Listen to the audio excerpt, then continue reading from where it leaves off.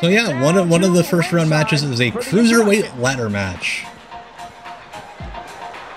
About to make And of course, one of them is coming out. Weighing in at Juvy's coming out to the fucking Macarena. Mexico City, now Not quite the Macarena. I'd have to mute it. It's not the Macarena. It's like a ripoff of the Macarena. But of course, Juventud Guerrera. Hey, Macarena racist. It's the Macarena. Thank you, D. This rail looks this not rail. This ramp looks like the the slide at Discovery Zone back in the day with like the little bars where like you slid down the, like and the, the bars rolled. In?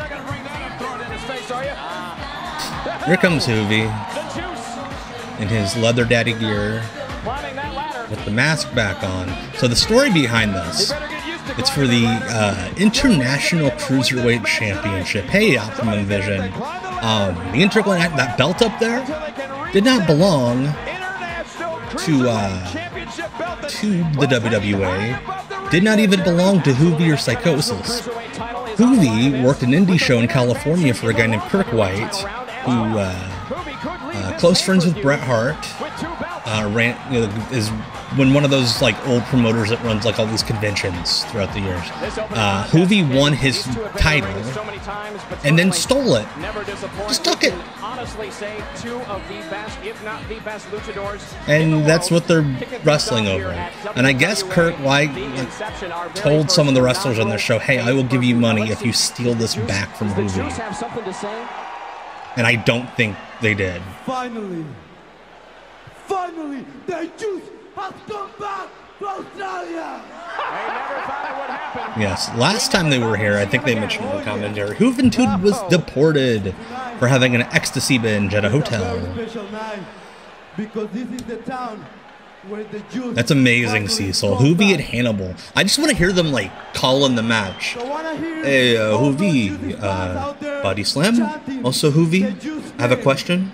Kevin Owen, do you think he uh, need to on, Jeremy, wrestle without shirt on? I don't know why I'm making it sound like he doesn't know to speak What are you, not a English. Juice fan? Um, you're gonna have that, that's my animal. best wrestling Australia I've told I've I. I think I've told my Juvy Because story this is on uh, WWA, WCW Deep Cuts live before and the Juice is gonna kick he some uh. Whoa! wrestled a weird lucha show down the road from my house. And when he walked out, he like did the Juvy like headbang thing and screamed, "Everybody, fuck somebody tonight!" Um, and it was him against Extreme Tiger, who was in a TNA for a bit.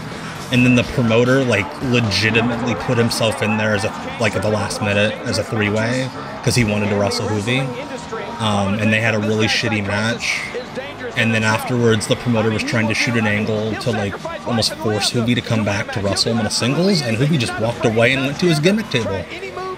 And then um, my son Noli, who was I believe five or six at the time, little little, little fella, he gets up on Juvy's lap to take a picture after the show, and Juvy goes, "Hello, little boy, are you juicy tonight?" To which my son says, "Yes, I am juicy." King, how do you like Australia? I love Australia. I love Australia. He'd been back in the country What since the WWA We are so happy to be bringing pay-per-view right here from Sydney at the Superdome into your home. Psicosis.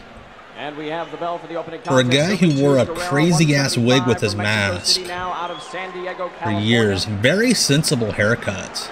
Once he took the hood off. Former four-time WCW Cruiserweight Champion, Psicosis, has held that belt as well. The inter I gotta say, there's a lot to make fun of with this show.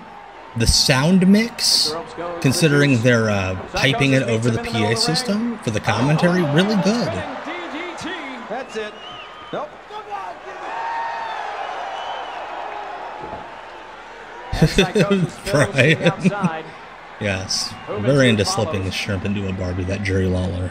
We are live from the Sydney Superdome. in There's an official in the ring for this ladder match because nobody knows what they're doing. Everybody's confused. That did it. He's out like a light. Object of the match is to set the ladder in the ring, climb the ladder to the top, and grab that international cruiserweight title. And if you want to use the ladder to knock your opponent senseless in the meantime, that's okay too. Wow. Juventud Guerrera now. The ring light seems really bright. Psicosis head wide Like- open.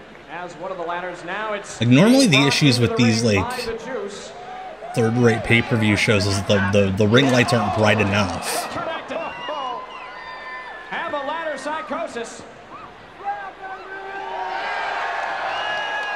And the Juice certainly has What is what is what is he doing? I always knew it was unlucky to walk under a ladder, but Yeah, they did this ladder match every night for like two weeks on this tour. Certainly. Juventud Guerrera and Psicosis have been in the ring with each other many times, but never like this before. Unbelievable. Oh my God. Teeter totter. Takes the brunt of that ladder right to the face. Psicosis is going to hate ladders after this match. And certainly, Psicosis and Juventud Guerrera have something to show the fans of Australia. Yeah, this is definitely a ladder match where the two guys are like, Putting the ladder on we have to do this every night. Psicosis has been, uh, Let's figure out a way to just get out of it without getting hurt. Oh, geez. Psicosis has been busted open. Well, what do you expect? Getting hit in the head with a ladder about four or five times. the Juice working Yeah, on this that it was a crazy period in Australian wrestling. There's this, there was the Rodman Down Under shows, the I Generation Wrestling, where like they almost also booked a Ultimate Warrior return tour before he like unsurprisingly went insane. No use going for a pinfall. Nobody's going to win the match that way. Look out! Oh, Juventud right down on that ladder. I would not be surprised, Dale Sandiford on YouTube, if the WWE Heavyweight title was the Rodman Down Under Heavyweight title.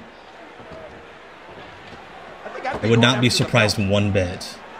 Well, certainly that international cruiserweight title on the line. I, in this I think. Andrew McManus was involved in those shows too. Like him and that promoter had a like a spat, and that's why Andrew started promoting the WWE shows. Yeah, like the crowd lighting's good. It's just there's a couple shot like like the like the the floor cam shots with just a guy laying in the ring. It's like you can barely see him. Hey Nathan, oh, Unbelievable leg drop from the top of that.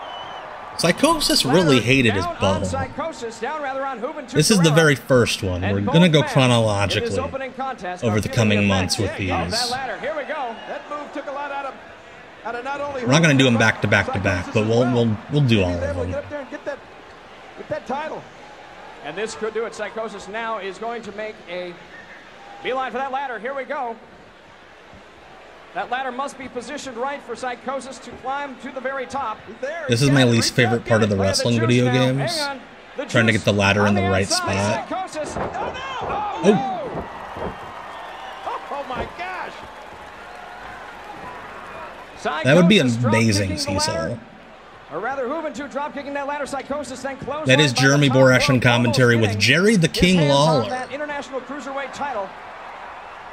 This is during Jerry Lawler's weird period where he uh, Referee Fozzy Young has nothing to do but watch. as quit WWE because of his wife, and then she get to the left him. that ladder and grab that international Hello, Jackson on YouTube. I'm doing fine His Psicosis is bleeding. Very cool, on the second Jackson.